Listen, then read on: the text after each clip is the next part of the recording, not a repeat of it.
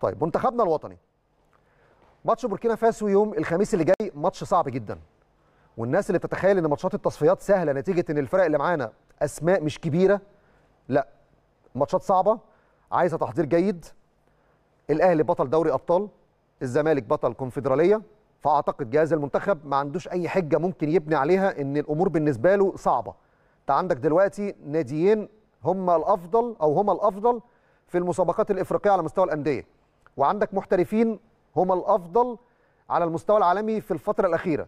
مصطفى محمد في الدوري الفرنسي محمد صلاح في الدوري الإنجليزي في ال Premier League عندك محمود حسن تريزيجيه حدث ولا حرج أحد العناصر المهمة للأسف عمر مرموش مش موجود بسبب الإصابة والعملية اللي أجراها في ايده في الأيام الأخيرة. ولكن أنا شايف إن جهاز المنتخب عنده مجموعة عناصر جيدة يقدر يبني عليها شكل جيد في التصفيات.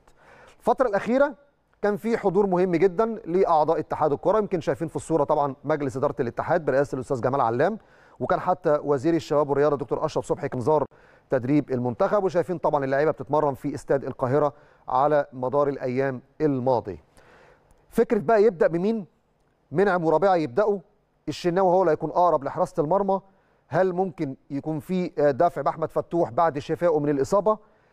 آه كل التفاصيل دي أكيد هنعرفها من خلال زميلنا الناقد الرياضي والكاتب الصحفي الأستاذ محمد زاهر الكاتب الصحفي بالشروق. أستاذ محمد مساء الخير. مساء النور يا محمد برحب بيك وبكل مشاهدي قناة النادي الأهلي. عايز أطمن منك بما إنك قريب الصلة من معسكر المنتخب ومتابع جيد لتدريبات المنتخب وجهاز المنتخب. آخر الأخبار آخر التفاصيل كيف يستعد حسام حسن لمواجهة بوركينا فاسو التشكيلة الأساسية هل في استقرار عليها في ظل إن خلاص باقي يعني 48 ساعة على خوض المواجهة يوم الخميس. تمام.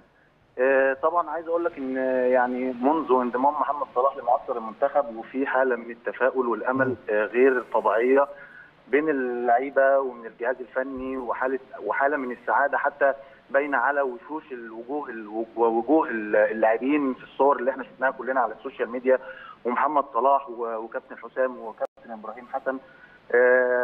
في استعدادات بتجرى على قدم وساق خلاص المنتخب يعني امبارح كان خاض المران قوي جدا امبارح. النهارده في try match هي هي هيستقر بنسبة كبيرة بنسبة كبيرة كابتن حسام على بعض قوام التشكيل الأساسي وإن كان حسم بعض منه ويتبقى البعض الآخر. بكرة إن شاء الله التمرين الرئيسي للمنتخب اللي هيحسم فيه بنسبة 100% كابتن حسام التشكيل اللي هيخوض بيه مباراة بوركينا فاسو يوم الخميس إن شاء الله.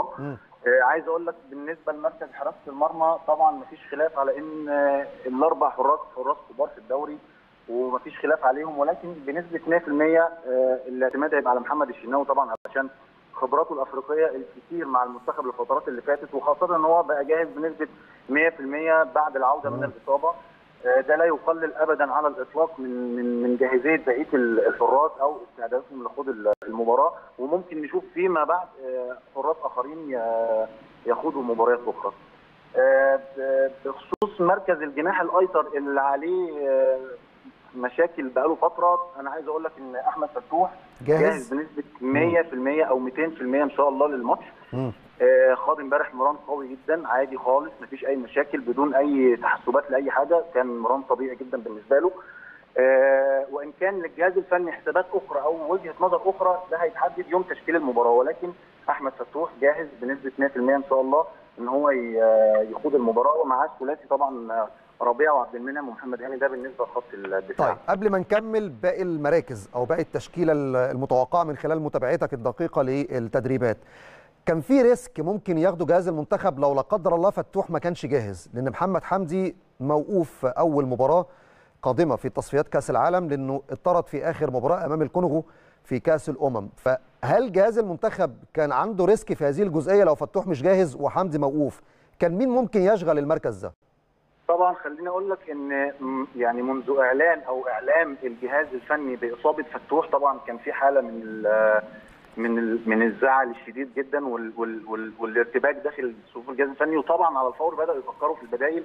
البدائل اللي كانت متاحة من داخل من داخل الفرقة نفسها أو القائمه المختارة كان هيبقى في اثنين وكان already بدأ الشغل عليهم اللي هو أحمد رمضان بيكهام وكوكا لاعب النادي الأهلي إن هو يشغل هذا المنصب. وإن كان هناك كان تفكير آخر من من من كابتن حسام باستدعاء آه، محمد حمدي آه، لاعب آه. آه، ولكن بعد جاهزية آه، أحمد فتوح أعتقد خلاص تم الاستقرار على على المركز ومش هيتم استدعاء أي حد آخر من خارج ال- القائمه موقف محمد حمدي طبعا هو هو اللاعب موقوف طبعا ده ده اللي الناس تعرفه ولكن هو في غموض حول إيقاف محمد حمدي ودي إشكالية أخرى يعني ممكن نبقى نتكلم عليها في وقت تاني. ليه؟ غموض غموض ليه يا زاهر آه، لأن يعني عايز أقول لك ان ان الجهاز الفني للمنتخب الوطني. طلب من اتحاد الكوره في أكثر من موقف من فترات سابقه آه، الاستعلام عن موقف ال- النهائي لمحمد حمدي هل هو ينفع يشارك في المباراه أو ما يشاركش خاصة ان هو تم طرده في في, في آخر مباراة للمنتخب في كأس امم افريقيه أمام الكونغو زي ما أنت قلت. و و وعدم علم مش عايز أقول عدم علم الجهاز الفني وارد جدا إن إن أي أجهزة فنية يكون ما عندهاش بعض ال- العلم بتركات في ال- في اللوائح. يعني هل هو لائحة ال- ال- التصفيات المؤهلة لكأس العالم منفصلة عن اللائحة بتاعه آه، كأس الأمم الأفريقية خاصة إن دي آه، تحت مظلة الفيفا ودي تحت مظلة الكاف هو ده كان ال- الإشكالية أو الخلاف اللي كان الاتحاد ال- ال- ال- الجهاز الفني عايز بس يتأكد من الموقف النهائي. ولكن الجهاز الفني عايز أقول لك هو مش هياخد الريسك خالص ولا هيلاعب محمد حمدي بدون بدون خطاب أو جواب رسمي بيؤكد إن إذا كان اللاعب ده هيلعب أو مش هيلعب هو مش هيجازف بحاجه زي كده على لا بس أنا بأكد. لك أنا بأكد لك يا زاهر محمد حمدي موقوف مباراة وفي خطاب رسمي آه، وصل لاتحاد الكورة من الاتحاد الدولي وقائمة الإيقافات الخاصة باللاعبين اللي بعد كأس الأمم تمام. الاتحاد الإفريقي بعتها كمان لاتحاد الكورة فأنا بأكد لك لا تمام. هو موقوف بنسبة 100% يعني جهاز المنتخب ما يكونش عنده قلق أنا متفق معاك وأنا كان عندي معلومة زي اللي أنت قلتها بالظبط. ولكن ال- ال- الغريب إن هو اتحاد الكورة لم يرد على الجهاز الفني خالص اطلاقا إن إن بتحديد الموقف النهائي للاعب. بس مش. أكتر. لكن القصة كلها إن كابتن حسام حسن خلاص هو مسلم بالأمر الواقع مش هياخد الريسك. وجاهزية فتوح آه، يعني أعطت. بعض ال- التفاؤل والأمل تاني للجهاز الفني إن شاء الله. ومحمد حمدي هيبقى جاهز للماتش لماتش غينيا بيساو بإذن الله. طيب نكمل باقي المراكز نص الملعب والهجوم سريعا.